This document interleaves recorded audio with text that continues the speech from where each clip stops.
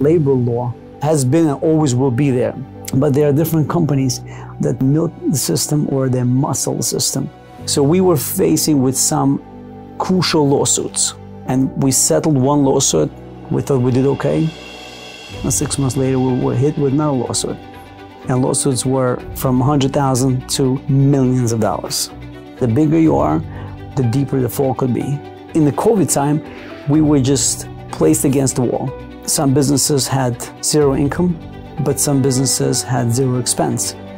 Our business had, besides zero income, we were at negatives of hundreds of thousands of dollars because our money invested into infrastructure. And if you would come to landlord and tell them, please, let's renegotiate the rent while we close, they simply said, leave your keys and you're free to go. But you can't just leave the keys because you have your commitments to people that you stand by your promise. And again, Leo's team came to us and they accommodated with restructuring and a different approach.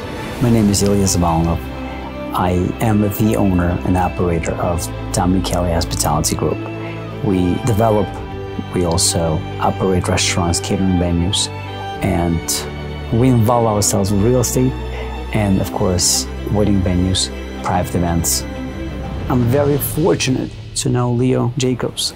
He was actually the one to pull me out out of all these issues and was able to create a pasture. As he says, his best way of saying it, create mirrors that things will go and not hit me direct.